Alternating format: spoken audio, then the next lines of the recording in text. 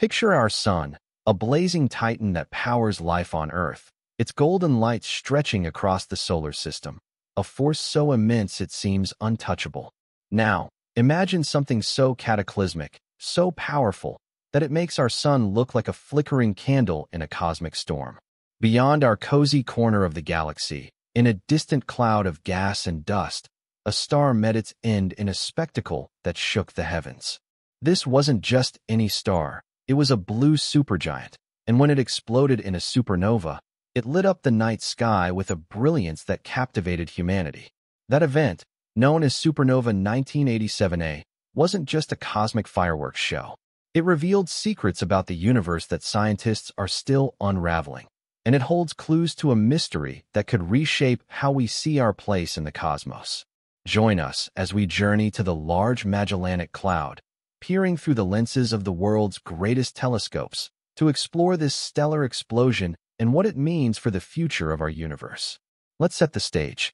It's February 23, 1987, and astronomers around the world are buzzing with excitement.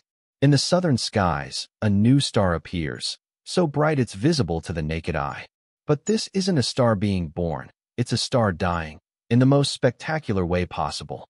Supernova 1987A erupted in the Large Magellanic Cloud, a dwarf galaxy 168,000 light-years from Earth. To put that in perspective, the light we saw in 1987 left that star when our ancestors were still painting caves. If you could travel at the speed of light, it would take you 168,000 years to reach the site of this explosion. Even with our fastest spacecraft, the journey would take billions of years, long after human history fades into dust. This distance is staggering, yet the supernova's light reached us with such intensity that it became one of the most studied events in astronomical history. What makes Supernova 1987A so special? For starters, it was the closest supernova observed since the invention of the telescope. Before 1987, the last naked-eye supernova was seen in 1604, when Johannes Kepler marveled at a new star in the sky. Supernova 1987A gave scientists a front-row seat to a cosmic catastrophe, and they weren't about to miss it. The star that exploded, called Sanduleak 69202, was a blue supergiant, roughly 20 times the mass of our sun. Unlike our sun, which will one day fade into a gentle white dwarf, this star was destined for a violent end. As it burned through its fuel, its core collapsed under its own gravity, triggering an explosion so powerful it outshone entire galaxies for a brief moment. That blast released as much energy in a few seconds as our sun will produce in its entire 10 billion year lifetime. But the story doesn't end with the explosion. When supernova 1987A lit up the sky, it didn't just dazzle astronomers. It gave them a treasure trove of data. Telescopes across the globe, from the hills of Chile to the peaks of Hawaii, turned their gaze to the large Magellanic Cloud. Even more incredible, neutrino detectors, underground tanks designed to catch ghostly particles, recorded a burst of neutrinos from the supernova. These tiny, nearly massless particles traveled 168 thousand light-years, passing through stars, planets, and even you, to reach Earth just hours before the light arrived. This was a game-changer. Neutrinos are like cosmic messengers, carrying secrets from the heart of the explosion. Their detection confirmed theories about how stars die, earning scientists a glimpse into the universe's most extreme physics. Now, let's paint a picture of what this supernova looked like. Imagine a star 100,000 times brighter than our sun, its surface a searing blue, pulsing with energy. As its core collapsed, it unleashed a shockwave that tore through the star's outer layers, hurling gas and dust into space at speeds of 70 million miles per hour. The explosion created a glowing remnant, a tangled web of gas filaments and shockwaves that astronomers still study today. If you could stand on a planet near the Large Magellanic Cloud, the supernova would have been brighter than a thousand full moons, casting eerie shadows and painting the sky with hues of violet and white. Here on Earth, it appeared as a pinpoint of light in the constellation Dorado, but its impact was anything but small.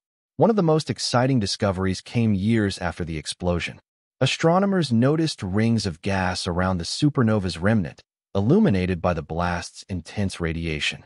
These rings weren't formed by the explosion itself, but were material ejected by the star thousands of years earlier, lit up like cosmic neon signs when the supernova's light hit them.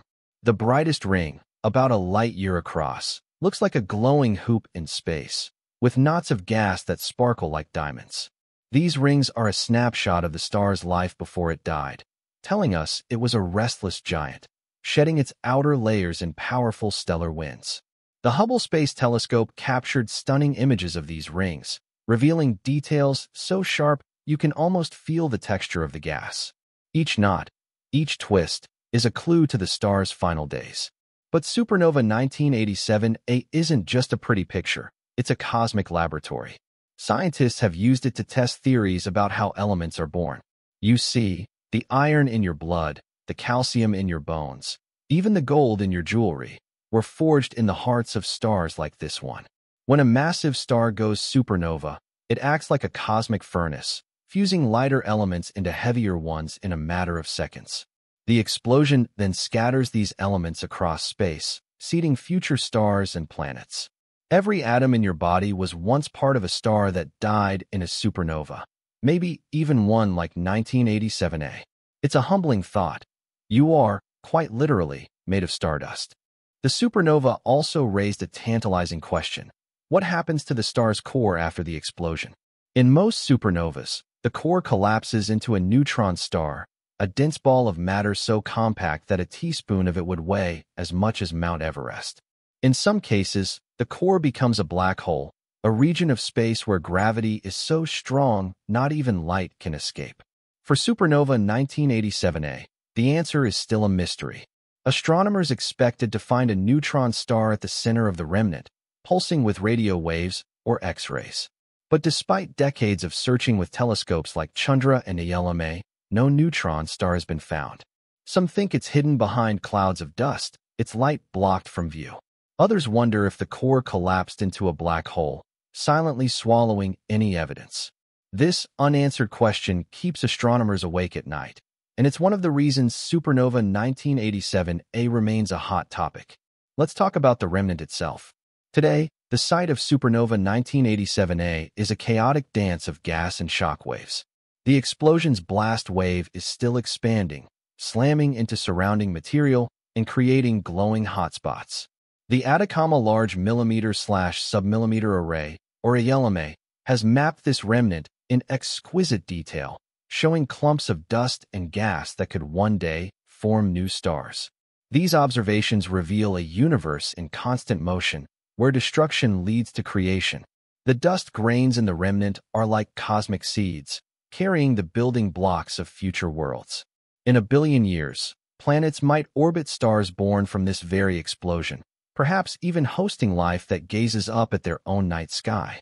Now, Let's zoom out and think about what supernova 1987A means for us.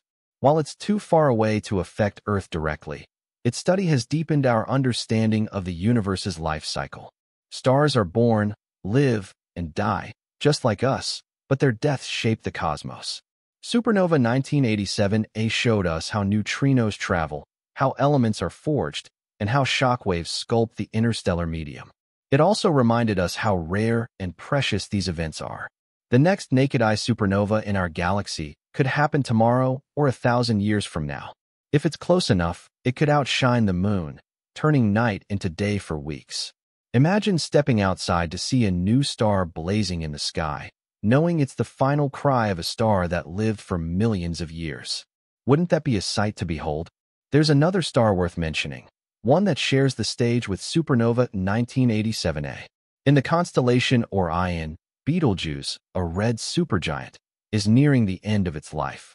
Like the star that became supernova 1987A, Betelgeuse is massive and unstable, its surface pulsing as it burns through its final fuel. Some think it could go supernova in our lifetime, though lifetime, in cosmic terms, could mean centuries. If Betelgeuse explodes, it'll be brighter than anything we've seen since 1987, a cosmic beacon visible even in daylight. Comparing the two stars is like looking at a before and after picture. Betelgeuse is the before, a star on the brink, while supernova 1987A is the after, a star that crossed the threshold. So, here's the big question.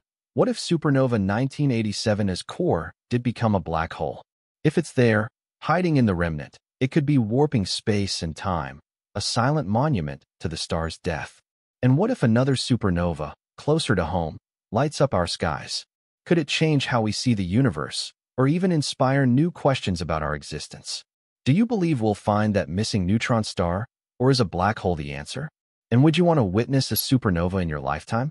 Your thoughts keep this cosmic conversation alive.